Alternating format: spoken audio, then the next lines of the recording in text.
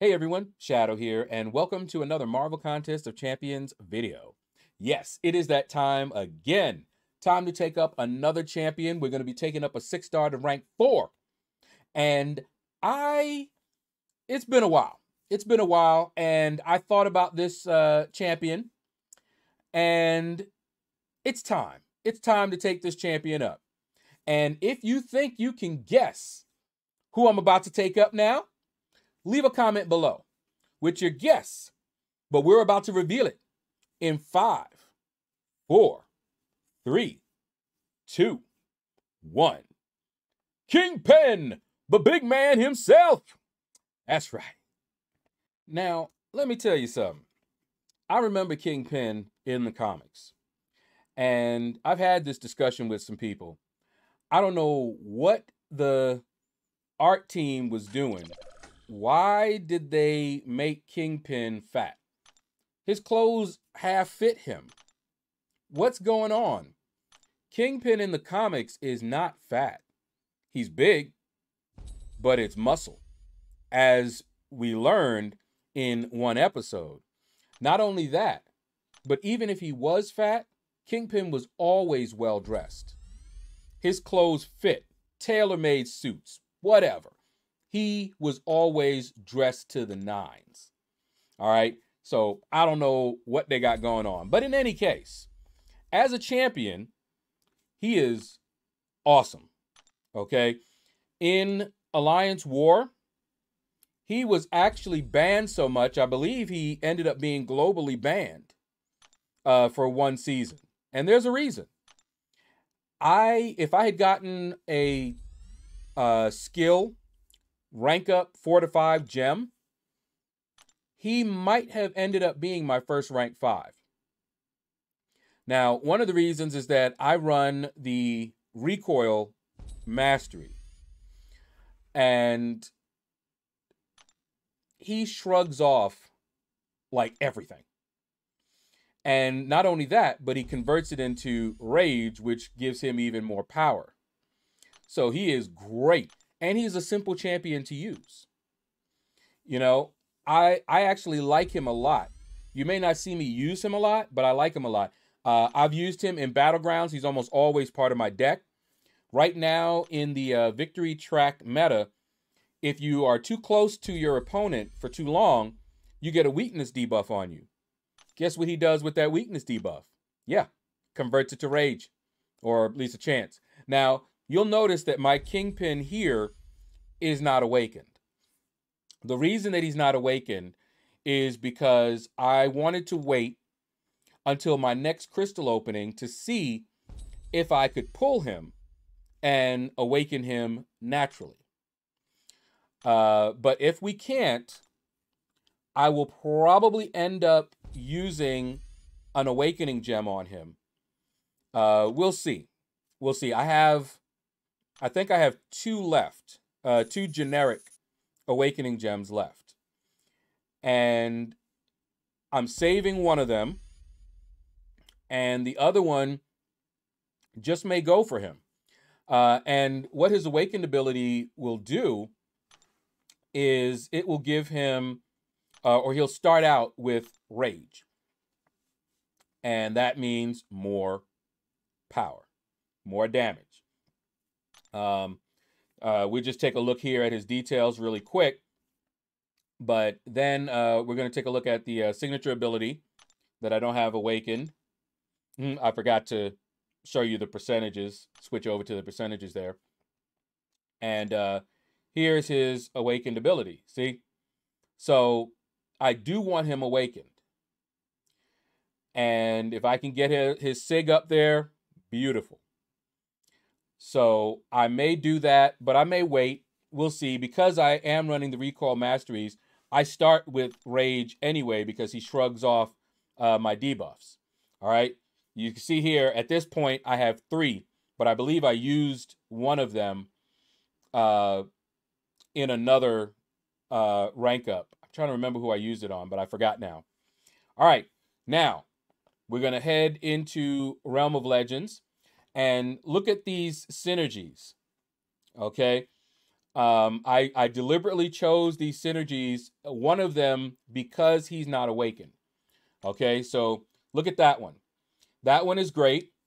100% rage, purify, ability, accuracy. But check this one out. Enter the fight with two rage. Remember what his awakened ability does? So this way, even though he's not awakened, I can get an idea, just an idea of what it'll be like when he is awakened. So I'm not in any rush to awaken him, but I do want him awakened. And if he's not awakened, he's got that synergy to um uh to give him uh the uh I guess to make up for it. Now, I believe that it will just add so that if he was awakened and had that synergy, it's even better. All right, so we're going to fight. Now, one thing I wanted to point out remember what I said that he shakes off, shrugs off, and converts these debuffs. Well, in this fight, there's no debuffs. So, this is what you get to see kind of a, a regular fight with him. All right, but you can see his damage. I'm just doing regular five hit combos. And then here, boom, boom, boom. Okay, now, for every hit, he has a chance to build up rage. You see his rage stacks over there at seven? When he's unstoppable, if he gets hit or he hits, there's a chance for him to generate a rage. And because of that synergy, he was getting them. Bam, bam, bam, bam, bam. I think it's a 50% chance otherwise. Something like that. All right. But just look at him. Beast. Look at this. That's his special one. Did you see that crit? Did you see the damage? Okay. That was nasty. That was a really nice hit. And then there's his belly bouncer, belly bouncer. Boom. 24K off his belly. That is nasty. And he goes unstoppable when that happens. Oh, my goodness. Just look at this. This boy is crazy. No regrets taking him up, even unawakened. And this is just one brutal SP3. I had to show it to you. Uh, boom, boom, boom. Uh, that just looks. Pa- I, I know folk got knocked out after that. That's just nasty. And then I was too far away, but I still got him in the end there. Um, but man, and look at his health. Look at Kingpin's health. And I'm firing specials. That's nasty. So yeah, definitely would have um, strongly considered taking him to rank five if I had had a skill rank five gem. I didn't get one, but I could do the next best thing and take him at least to rank um, rank four. Now, in this fight, I'm going to have a little bit of fun. I want to see how tanky he is. Okay? So, we already saw the damage that he was doing and all that good stuff. Um, in this fight, as you see here, I want to see how well he can take a hit. So we're going to get hit quite often in uh, this particular fight. Again, there's no um, no uh, debuffs, so he's not ramping up a lot. Okay, here we go. Belly bouncer. All right, had to get that uh, special three. Boom, boom, boom, boom. Mm. I'm so sorry to do that to you, girl. Ooh. That just looks nasty. And then insult at the end, just throwing the money. And I always do that because I always underestimate. And then that last one, it just wouldn't move. I don't know why. Input dropped. Okay. All right, here we go.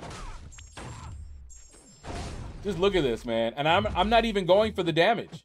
I'm not even trying to ramp up my uh, rage. Nothing. We're just going in. I'm gonna start getting hit a little bit more, but I wanted to see um, early on just how much he would, uh, you know, the willpower would heal him back up.